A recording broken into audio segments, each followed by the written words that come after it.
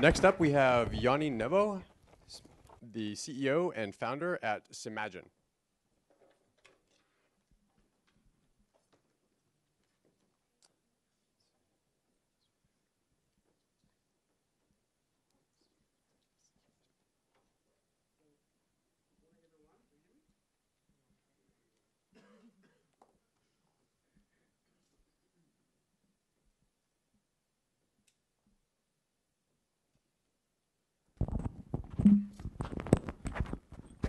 You?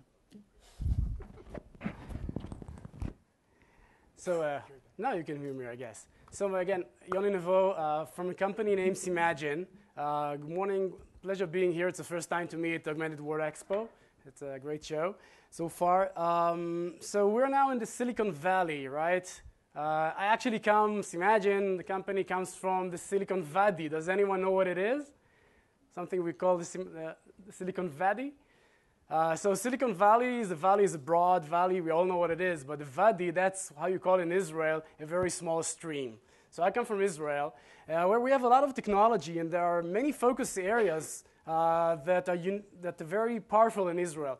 For, And most of them, the roots come from actually the defense industries. We have to defend ourselves. And so, for example, telecommunications is one strong area. And another one that's becoming more and more strong these days is actually computer vision, image processing, video processing. Um, so our team actually has its uh, R&D team, engineering team, uh, comes from really the origin of uh, the Israeli Raytheon for making actually guided missiles. But we decided to do something more friendly with those, no, with this know-how and technology. And our initial focus was actually to save marriages.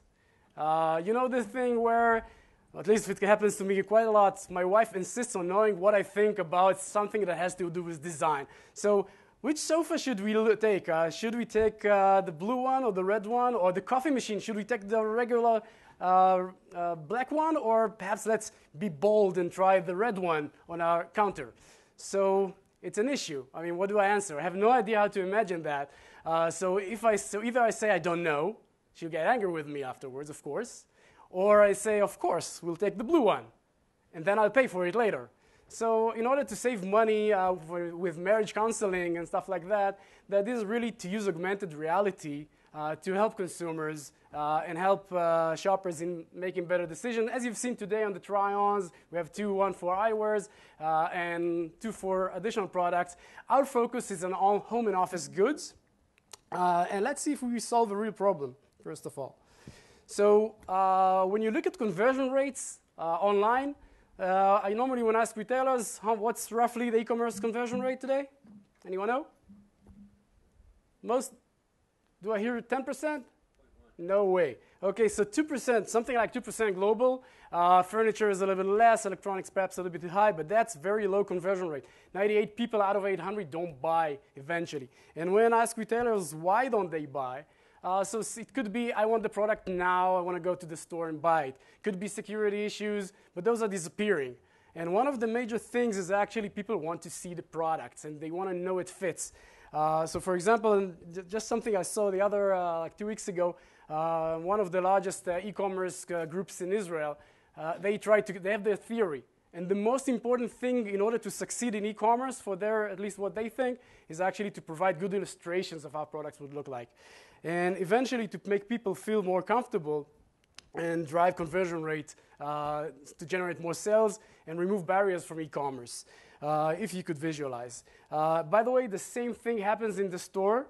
We saw a solution for the sales associates to actually be able to show consumers uh, products in the store or uh, for their customers. Um, again, if you look, uh, the greatest excuse that the shopper has actually not to make a purchase is, I like the product, but I want to go home and try to imagine how it would look like. So we're trying to use um, basically augmented reality. We really think it helps to visualize how things Uh, would look like in the people's home, in the people's offices. Uh, and first of all, it's engaging because people actually get to play with products. And hopefully, I'll be able to show you a demo later on. Um, but uh, so it's engaging. It's a good marketing tool. But again, it's more importantly, it should increase confidence and grow sales eventually.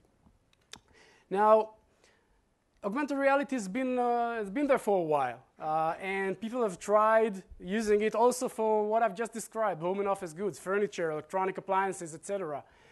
But it didn't reach ma mass market yet. So some of, uh, some of uh, so perhaps we can go to the sales associates as, as already been described. we we still believe in the end user eventually because we really help the consumer in making decisions. But in order to get to the masses, we believe that the solution, such solutions has to be immediate. So people will click on a button, they will see the product that they want to buy. Uh, and you know, where people want to get the scale and want to uh, have the product stay where it's supposed to be when the product is moving in augmented reality, uh, they're using a tracker or a marker, depends, uh, or a target, depends on your, uh, the SDK that you're using.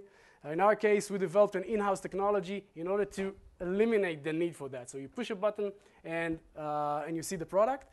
So it has to be immediate and it has to be realistic, as already been mentioned. It has to look real and it has to look real. And for example, if I put a chair on a t- uh, somewhere on the floor, or if I put uh, a coffee machine on the counter and I start moving around to see it from different angles, it should stay exactly where I put it, as, just as if I would have put a real product over there. So it has to be immediate, realistic, high quality, and has to be of a live video to be able to be, to be seen from various angles, just as if I would look at it if it was a real product that I'm trying on. Now, on the retailer side, and you can guess by now that we're, we it's a B2B model, that's the way we work, uh, it has to be, everything has to be in the cloud. And our approach, by the way, is that we want to take all the burden from the retailer uh, we just, uh, so all we need to know is what are the products that the customer wants to visualize, to, to, uh, to share with his um, audience, with the, the, the, consumers. And we provide the 3D modeling. We have a scalable uh, model for that because I think it's too cumbersome for the retailers to handle it themselves. Uh, and all we need basically from the retailers, other than the names of the product and some photography and measurements that we can usually find on the web pages, is some kind of a trigger, like a button on a web page that will tell us who the retailer is and it will fire up the application with the right product and, and also download some related items.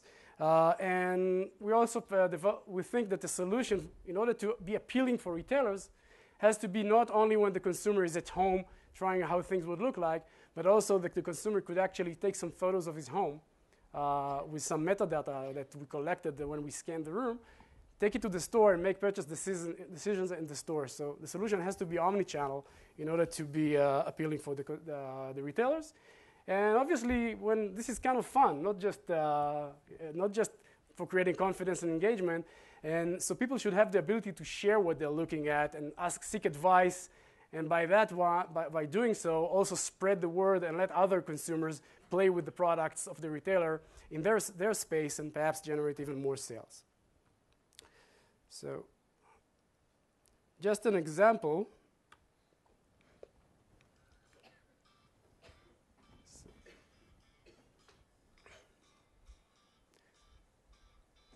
So that is really to scan the world, try to understand what we're looking at, and actually project uh, the product, change the colors,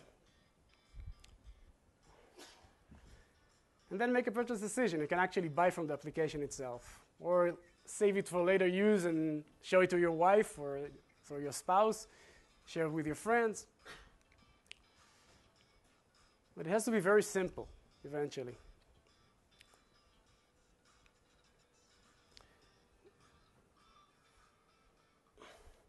And before I do a live demo, uh, what uh, I want to summarize with, with what, what I tell retailers when I meet retailers and I think everybody understand when the whole devices with Augment software, with, with all my colleagues here, uh, people understand that this is where the market is going. And what we're basically encouraging them to, to, join, to join now and become leaders. And it's a challenge. There's, we all have to educate the market, I guess. But it's something that's going to happen. It's going to happen pretty fast. We really believe in that. So let's see uh, if we can switch to this one.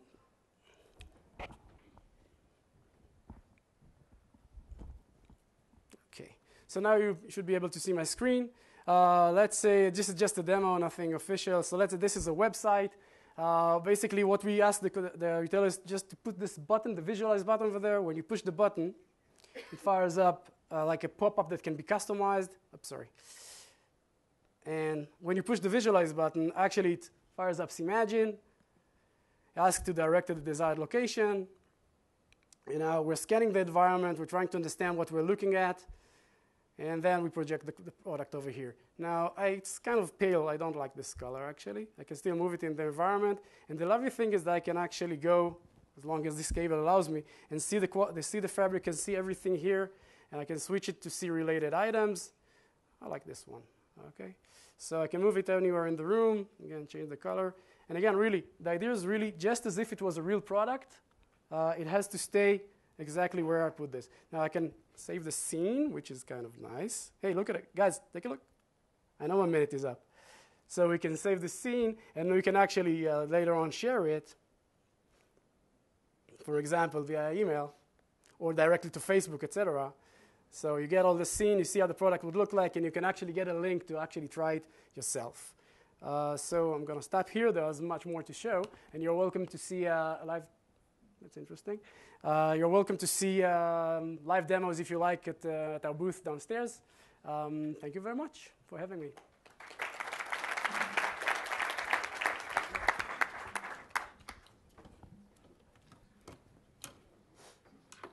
So we're behind schedule, but we have time for a couple of questions.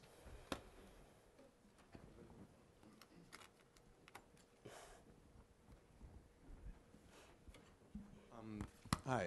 What do you see as the major pain points uh, for this sort of technology to become very, very mainstream and to be used by everyone in daily in daily use? So, so actually, I think this is what, exactly what I uh, what I mentioned. I think there were the two mo- the two uh, most important barriers is it has to be immediate, and I mean it's, it's realistic already.